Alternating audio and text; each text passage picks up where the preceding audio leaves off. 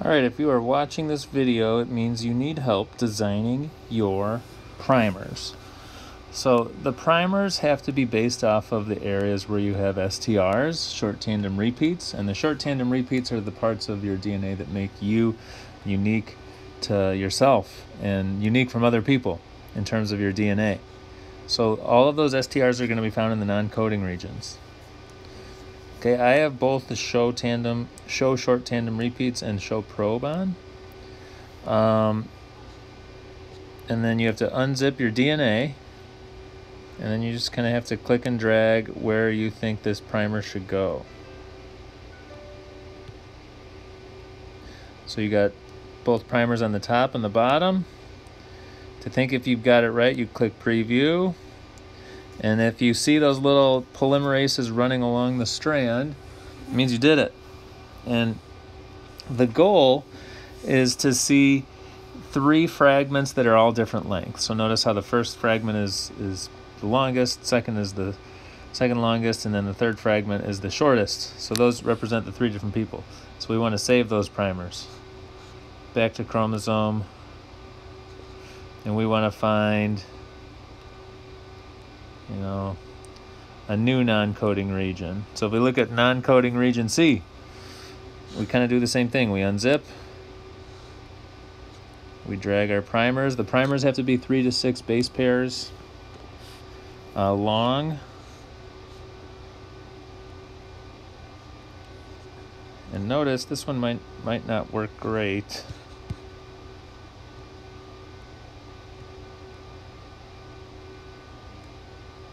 Yeah, like if you look at it, the for part C,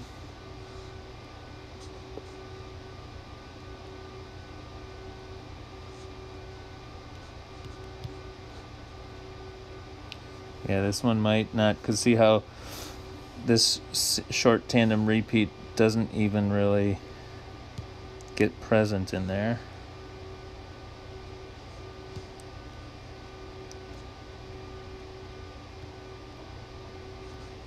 Oh, there we go. I think this will work. There it is. So now we have three different fragment lengths, which we like. We saved that primer. So now we have two primers. I skipped B, non-coding region B, because every time I click on it, oh, there it goes. It's See how it's showing gene B and not non-coding B? Like what I'm referring to is is right here. That says gene B. We wanted to say non-coding. Notice how there's no STRs, so we don't want to do this one. Let's go to D. Oh, there we go. So we wanted to say D, which we got. We unzip.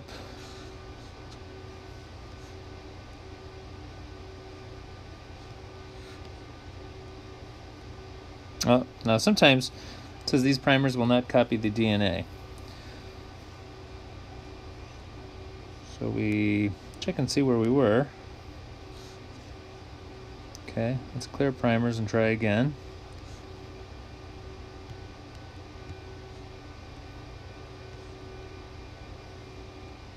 There we go. Sometimes the primers don't want to be right on the end of the strand. You got to move them in a little bit. But again, notice how we have three different fragment lengths for person one, two, and three. So we save that primer. We go back. Can't do that one because there's no STRs. Same. Oh, here we go, non-coding region F. So you got to find the STRs, and once you do, drag your primer in. Nope.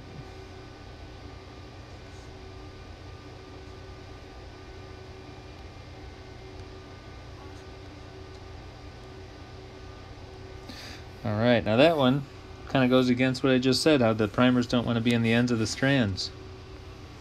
But regardless, we found the primer. We got our three different frag fragment lengths. And we save it. Now we got four good primers. Uh, the instructions on the doc. Let's see how many they recommend.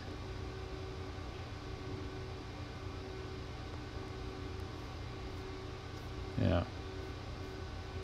Well, they don't specifically say how many primers you want to take, but we got four. What you can do then is you can um, click the continue button and you go to this part where you can test your primers. So you have your DNA from your skin and the DNA from your from blood.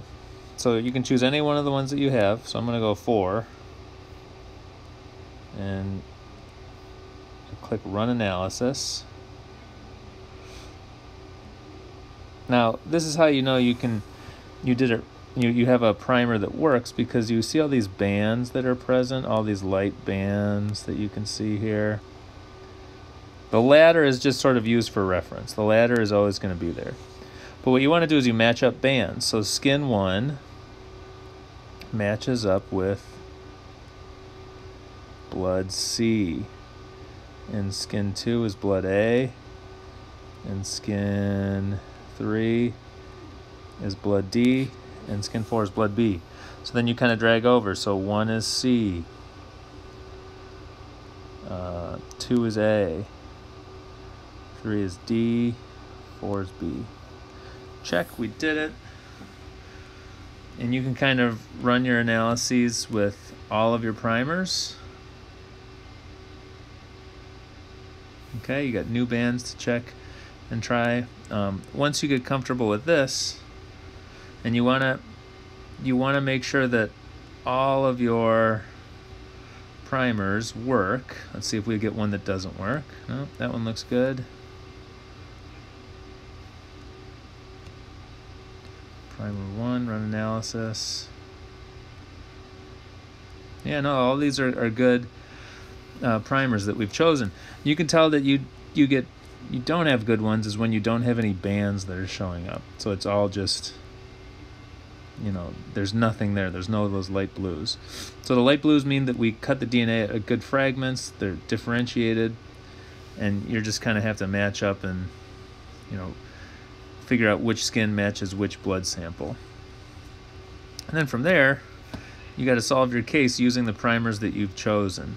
So this is kind of the fun part. I don't want to show you how to do this because this is what you want to sort of move towards and, and understand how to do. So this is where I'm going to leave you. If you got more questions after this, shoot me an email, okay? I hope this